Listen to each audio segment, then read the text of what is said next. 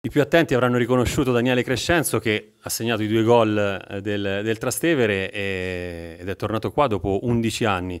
Mm, ora ne hai 30, quando andasti via eri un under tra i più promettenti. Che ricordo hai di Arezzo, Daniele? Eh, è una bella emozione comunque. Ho passato un anno un po' turbolento, eh, non lo nego, però comunque sia i ricordi del ragazzo di 18 anni restano e la felicità insomma di vivere un anno fuori casa da giovane Purtroppo non riuscimmo a vincere il campionato, non andò benissimo, però è una bella emozione, insomma, ecco.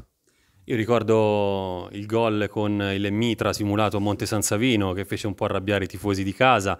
Eh, ricordo qualche gol e tante giocate. Tu eri uno degli under più promettenti. Eh, tu invece che flash hai di, di, di, quella, di, quella, stagione? Eh, diciamo che quello è uno, un ricordo abbastanza, abbastanza, vivo perché comunque sia eh, creò qualche problema, insomma, anche per andare via dallo stadio, ecco. No, i ricordi più belli, diciamo, sono, sono quelli prima di, di, Natale, insomma, la partita mi ricordo che vincemmo qua contro il Castelricone 3-0, c'era tanta speranza, poi purtroppo prima del Ponte d'Era, poi purtroppo andò, andò male, ecco.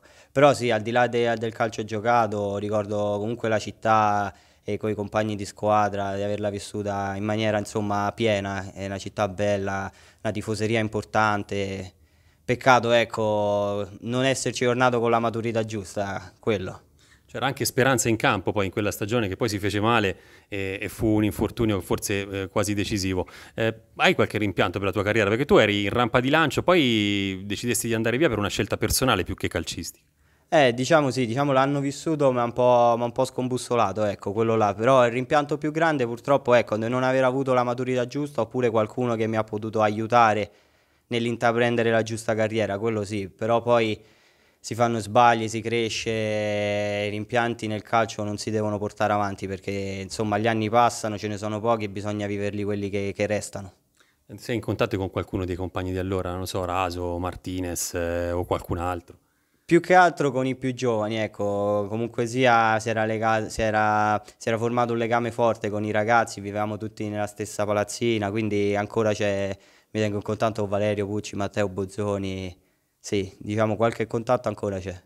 Ti chiedo un'ultima cosa, insomma, questi due gol sono arrivati in amichevole, però segnare qui al Comunale è sempre una bella soddisfazione. Sì, no, ma poi ritornare a giocarci, insomma, è uno stadio importante, finalmente rivediamo, insomma, l'Arezzo nelle categorie che conta, quella è un'emozione grande, ecco, sì, tanto, tanto, ripeto, il rimpianto più grande purtroppo è non aver avuto la maturità giusta, perché col senno di poi è normale chi, chi non vorrebbe giocare qui, però purtroppo gli anni vanno avanti e come ho detto prima bisogna godersi quelli che c'è. Adesso sono in una società, comunque è il quarto anno e sono qui a Trastevere, sono felicissimo, è una società importante che, che ci dà quello che un giocatore vuole per poter far bene e quindi sono, sono felice così, dai.